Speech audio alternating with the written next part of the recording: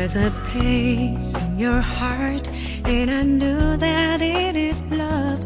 And this place could much brighter than tomorrow. And if you really try, you'll find there's no need to cry. In this place, you feel there's no hurt or sorrow.